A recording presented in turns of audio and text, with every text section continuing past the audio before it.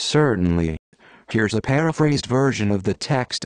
The Acura Integra Type S is not a Type R, but rather Acura's take on the high-performance Honda Civic Type R, offering more creature comforts at a higher price point.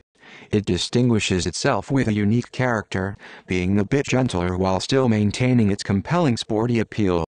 The chassis features adaptive dampers, tuned to be more compliant than the Civic, providing a comfortable ride in sport mode.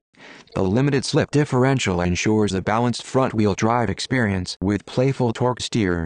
With Michelin Pilot Sport 4S tires, 19-inch wheels, and Brembo brakes, the Integra delivers a thrilling performance.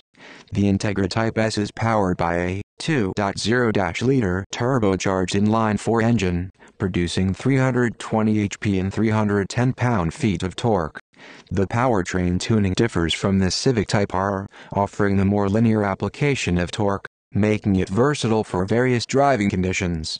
The gearbox is praised for its short throws and solid engagement, complemented by an auto rev matching feature. The exhaust note and active exhaust valve in Sport Plus mode contribute to the enjoyable driving experience.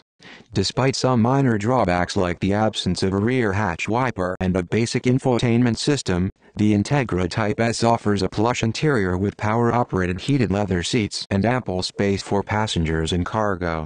Comparing it to the Civic Type R, the Integra is seen as a more well-rounded option, providing a comfortable daily driver with impressive performance, albeit at a higher price point.